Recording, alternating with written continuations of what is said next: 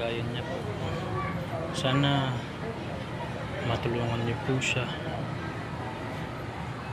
Siya po ay ah, kapatid ko ng aking ah, asawa.